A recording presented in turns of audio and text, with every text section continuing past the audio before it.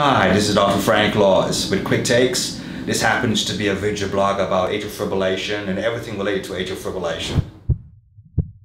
So, atrial fibrillation is usually associated with development of symptoms such as palpitations, racing of the heart, fatigue, and tiredness.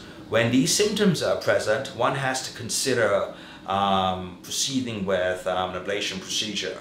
Um, an ablation procedure describes that process by which uh, you create an electrical block around the pulmonary veins. Usually atrial fibrillation develops within the pulmonary veins and propagates down the pulmonary veins into the heart. Um, this process by which you create this electrical block um, is referred to as pulmonary vein isolation. The cryoablation um, describes a technique where a cold blood balloon um, freezes the tissue around the orifice of the pulmonary vein, and that creates an electrical block.